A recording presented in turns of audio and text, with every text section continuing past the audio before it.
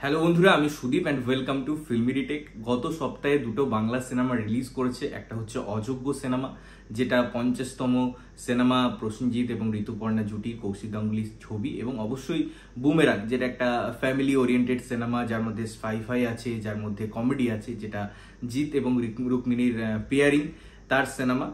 তো এই দুটো সিনেমা যে প্রথম সপ্তাহের কালেকশন তার নিরিখে কেমন করল, যে ন্যাশনাল প্লেক্স আছে সেখান থেকে কীরকম বিজনেস উঠে এলো সেটা নিয়ে কথাবার্তা থাকবে। এবং শুধুমাত্র বিজনেস নয়, এখানে কয়েকটা বিশেষ দিক আছে যের দিকেও আমাদের নজর দিতে হবে। প্রথমত যদি আমি অযোগ্যের কথা বলি, সেই সিনেমাটি প্রায় তিরিশ লক্ষের কাছাকাছি বিজনেস করেছে।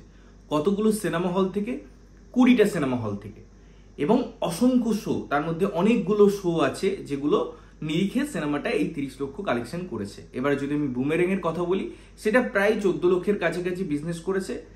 এবারে কতগুলো সিনেমা হল থেকে? সেটা হচ্ছে তেরোটা। এবারে এই যে তেরো বা কুড়ি, এটা শুধুমাত্র এই ন্যাশনাল প্লেক্সগুলো কথা বলছি। এর মধ্যে লোকাল মাল্টিপ্লেক্স বা সিঙ্গেল স্ক্রিন এগুলো বাদ। এবারে এই যদি দুটো আমি বিশ্লেষণে যাই, দুটো সিনেমাই নিজ নিজ জায়গায় বেশ ভালো সিনেমা দুটোরই একটা আইডেন্টিটি আছে, গল্পের একটা ধরন আছে। অযোগ্য সিনেমার হাইপ অবশ্যই ছিল, কারণ ঋতুপর্ণা, প্রসেনজিৎ এই জুটিটার একটা ভ্যালু আছে। কৌশিক গাঙ্গুলি মানেই একটা আভিজাত্য বাঙালি অডিয়েন্স সেদিকে নজর দিয়ে থাকে। সেই জায়গা থেকে সিনেমাটা একটা ডিসেন্ট বিজনেস করেছে এবং যে বিজনেসটা করেছে, সেটা অধিকাংশ বড় বড় সিনেমাও বিজনেস করতে পারেনি মাল্টিপ্লেক্স চেনগুলো থেকে, যেটা একটা হিউজ অ্যাপ্রিসিয়েশনের দাবি রাখে।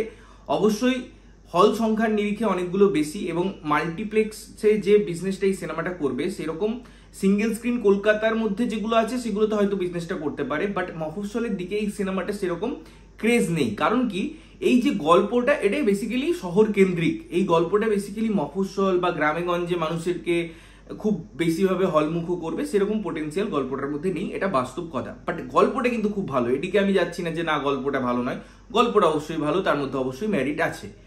অন্যদিকে বুমেরাং হচ্ছে একটা মাস সিনেমা যার মধ্যে কমেডি আছে। এবং জিদ্দা যখনই কমেডি নিয়ে এসছে, তখন তার মধ্যে একটা আভিজাত্য ছিল। এবং সিনেমাটাও খুব সুন্দরভাবে ওয়ার্ক করেছে, তার ওয়ার্ড অফ মাউথ খুব স্ট্রং যে বিজনেসটা এই কটা মাল্টিপ্লেক্স চেন থেকে করেছে, যেটা আমি বললাম মাত্র তেরোটা সিনেমা হল তার মধ্যে শো সংখ্যাও অযোগ্যর থেকে অনেক কম, সেই জায়গায় চোদ্দ লাখ বিজনেসটাও ডিসেন্ট বিজনেস যেখানে যদি আমি অন্যান্য সিঙ্গেল স্ক্রিনের কথা বলি, কলকাতার মধ্যে হোক বা কলকাতার বাইরে, সেখানে হিউজ ক্রেজ সেখানে দারুণভাবে সিনেমাটা চলছে। ইনফ্যাক্ট আমি যদি এসবিএফ এর কথা বলি, দুর্গাপুর বা এই সমস্ত জায়গাতেও কিন্তু এই সিনেমাটা হাউসফুল, ফাস্ট ফিলিং এগুলো দেখা গেছে, যেটা কিন্তু অযোগ্য সিনেমার ক্ষেত্রে সেরকম দেখা যায়নি কলকাতার বাইরে।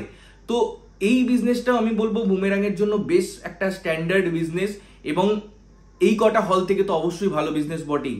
বাকি যদি পুরো পিকচারটা আমরা দেখতে চাই, সেখানে এই যে লোকাল মাল্টিপ্লেক্স যেগুলো আছে বা যে সিঙ্গেল স্ক্রিনগুলো আছে, সেই ক্যালকুলেশনটা একসাথে এলে প্রোডাকশন তাদের যে ফিগার দেবে, সেই ফিগারটা আমাদের ফিগারটার জন্য আমাদের ওয়েট করতে হবে। এবারে দেখুন, দুটো সিনেমায় যদি চলে, দুটো সিনেমায় যদি মানুষ একসেপ্ট করে, দুটো সিনেমায় যদি মানুষ দেখে তাদের তো আলটিমেটলি ইন্ডাস্ট্রিরই ভালো। সেটা আমরা প্রত্যেকেই চাই বাংলা সিনেমার দর্শক হিসাবে। যদি মানুষের ভালো লাগছে, মানুষ কেন দেখবে না? দুটো সিনেমাই তারা কনজিউম করুক, এবং আমার মনে হয় দুটো সিনেমার মধ্যে পোটেন্সিয়াল আছে। বুমেরাংটার মধ্যে তো হিউজ পোটেন্সিয়াল আছেই এবং অযোগ্যও যারা দেখছে, তারাও তাদের ইমোশনালি কানেকশনের কথা বলছে, তারাও সেই সিনেমাটা নিয়ে কথা বলছে। সুতরাং আমার মনে হয় দুটো সিনেমাই তাদের নিজ নিজ জায়গায় বেশ ভালো বিজনেস করছে।